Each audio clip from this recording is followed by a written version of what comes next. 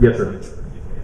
It's um, May 24th today, and um, a thousand yesterdays ago today, we hung out for the very first time. And the word that I remember from those days was captivating, and you still captivate me. I was going through a hard time in my life, and you were patient and you were kind. And once we started dating, you were never jealous, and as beautiful inside and out as you are, you were never conceited or proud. You're certainly assertive, but you don't just want your own way, and you're not irritable. You rejoice in the truth. You you don't take joy in wrongs.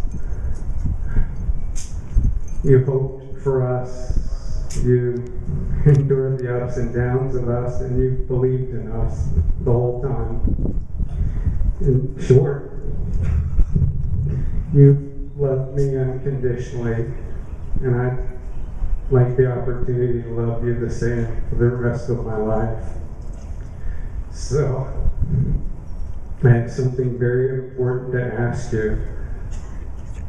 And I know you said if I did something public, you'd say no.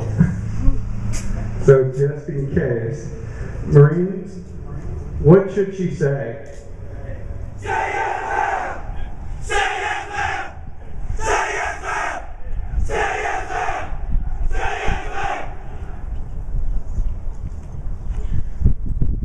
Megan Elizabeth, um, will you marry me?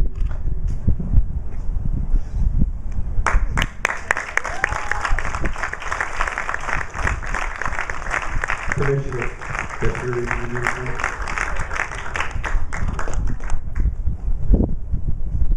Thank you, Marines.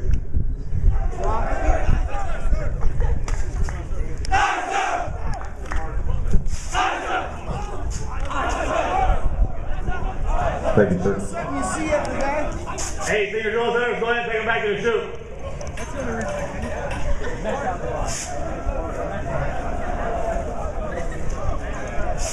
Nothing to do with that.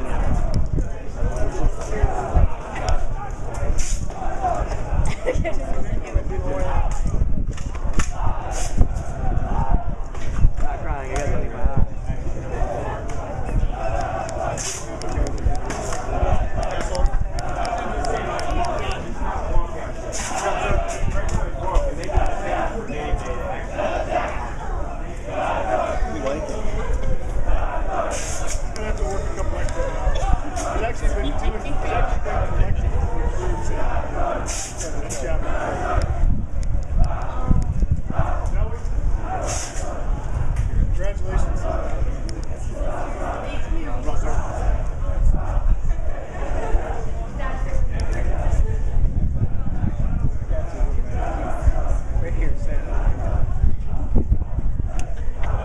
Congratulations. Thank you.